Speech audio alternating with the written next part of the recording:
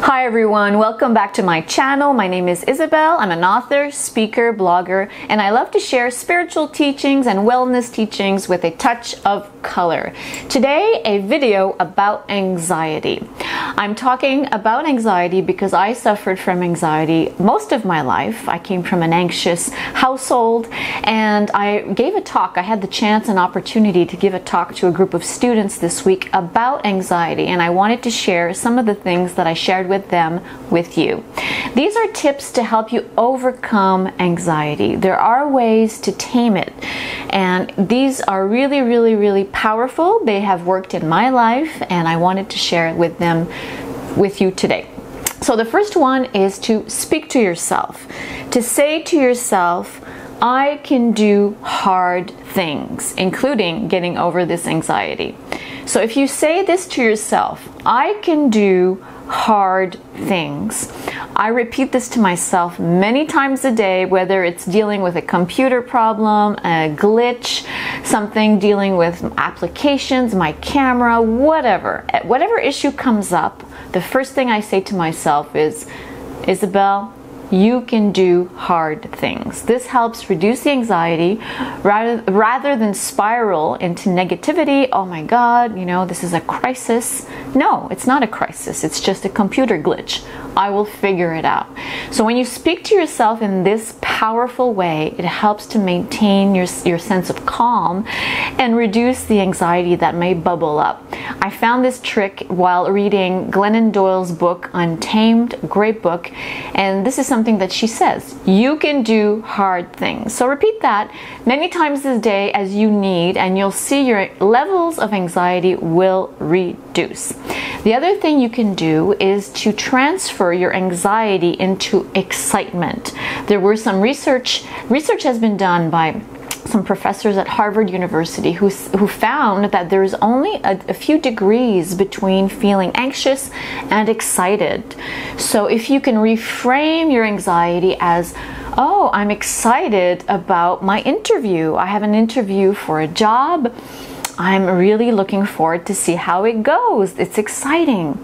And that way you're reframing your anxiety and not seeing it through the lens of your limiting beliefs. Normally, what we do is we spiral in, oh, what if they don't like me? What if it doesn't work out? I'm so worried, I might be rejected.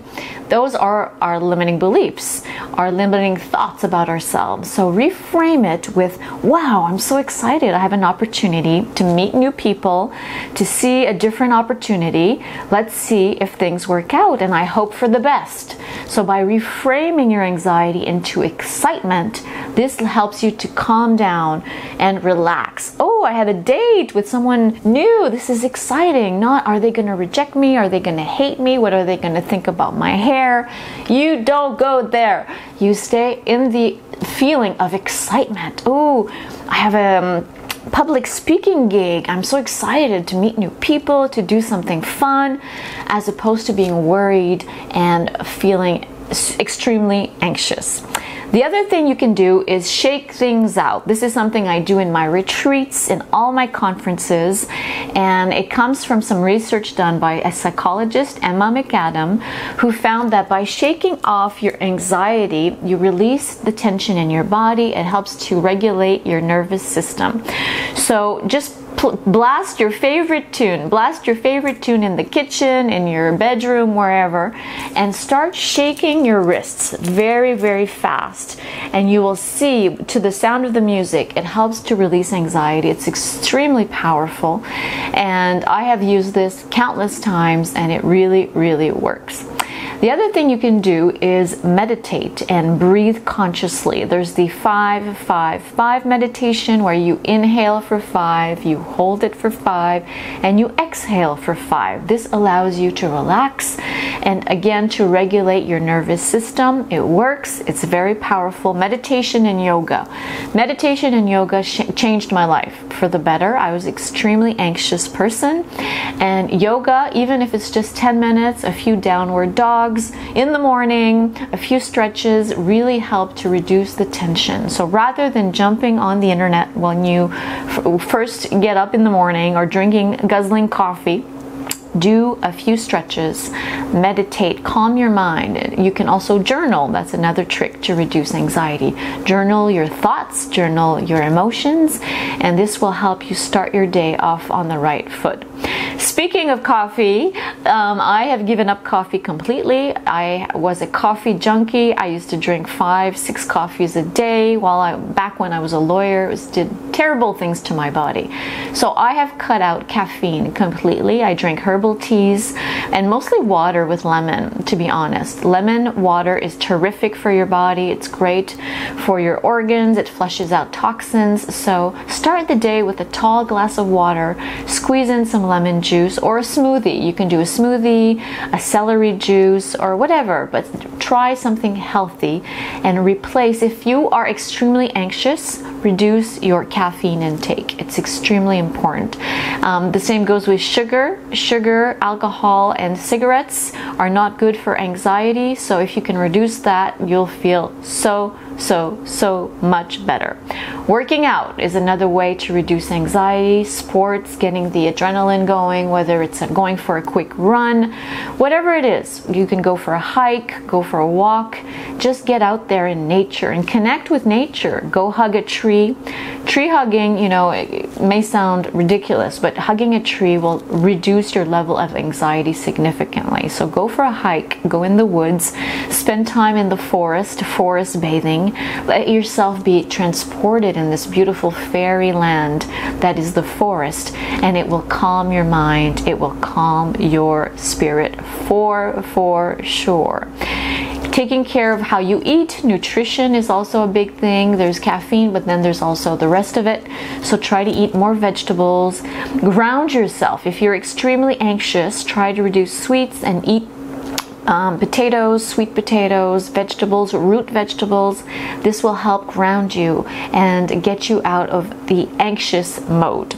The other thing you can do is talk about it. If you're very anxious, go seek out help. You can seek out help through a counselor, a therapist, a good friend. Talking about how, why we feel anxious can really just reduce it significantly and can be very, very helpful.